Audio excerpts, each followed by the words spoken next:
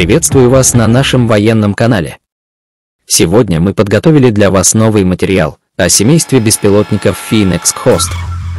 Но прежде чем я начну, хотел бы напомнить о важности лайков и подписки на канал, если, конечно, еще не сделали этого. А после просмотра поделитесь своим мнением в комментариях или просто поставьте плюс. Еще в июле 2022 года Пентагон оценил использование Phoenix Host на поле боя в Украине как успешное, однако детали не раскрывал. Так что же это за оружие? Семейство беспилотников Phoenix Host не ограничивается одной моделью, это целая линейка дронов «Камикадзе», созданная компанией IVEX Aerospace для выполнения сложных боевых задач. Эти беспилотники различаются по своим характеристикам и возможностям, обеспечивая гибкость при планировании операций. Рассмотрим три представителя семейства – Дисруптор, Доминатор и Атлас. Первый из них – Дисруптор.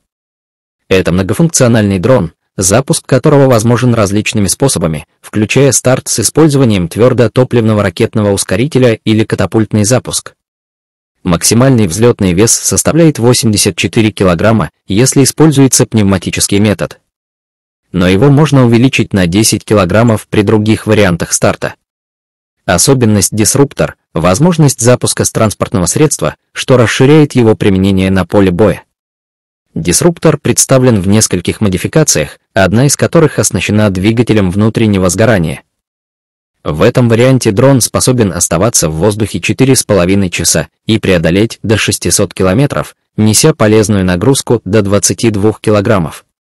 Однако компания Ivex Aerospace предлагает и улучшенную версию с электронным впрыском топлива, которая значительно увеличивает время полета до 11,5 часов и запас хода до впечатляющих 1322 километра.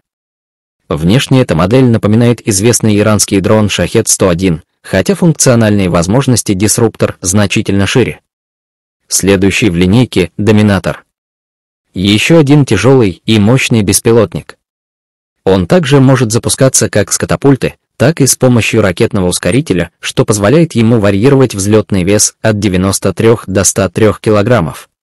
Доминатор обладает двигателем, аналогичным дисруптору, и предлагает два режима работы с двигателем внутреннего сгорания или с электрическим двигателем.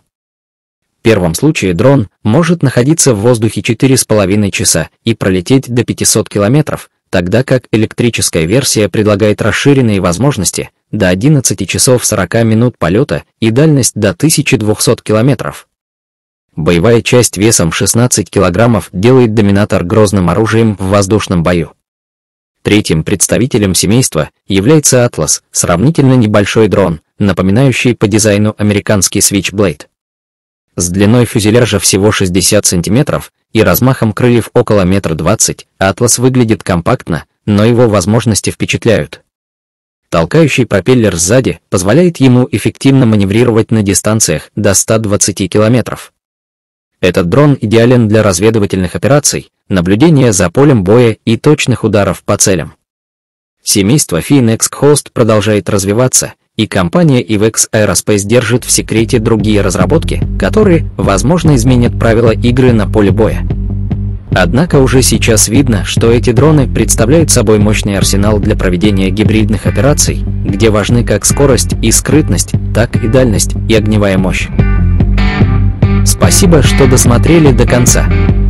Мы стараемся для вас, собирая самую интересную и актуальную информацию на военную тематику. Заходите на наш канал, здесь вас ждут более тысячи видео с уникальными фактами, аналитикой и новостями.